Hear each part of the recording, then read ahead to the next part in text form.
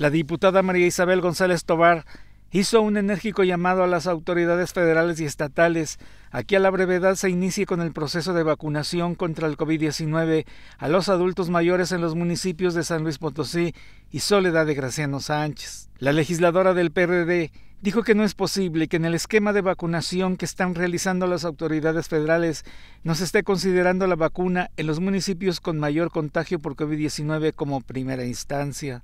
Si vemos hoy las estadísticas de los casos de COVID, nuevamente están a la alza. Entonces, la zona metropolitana de la capital y el municipio de Soledad de Graciano Sánchez, que es donde se presenta el mayor número de casos, es precisamente ahí donde deben empezar a vacunar. Destacó que las autoridades federales y del Estado deben atender a los adultos mayores que viven en los municipios con mayor población, ya que son los que se encuentran en mayor riesgo de contagio, por lo que se debe iniciar con la vacunación de manera inmediata. La diputada González Tobar dijo textualmente, nos tocaron en la capital tiempos difíciles de pandemia y se nos juntó con el proceso electoral,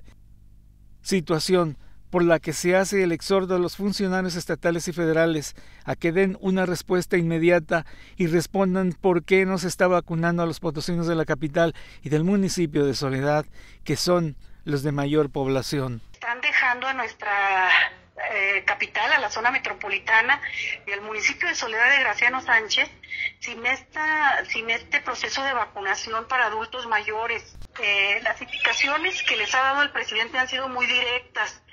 pero yo, yo la verdad desconozco bajo qué esquema eh, se fueron a vacunar a municipios que no tienen tanta incidencia de COVID.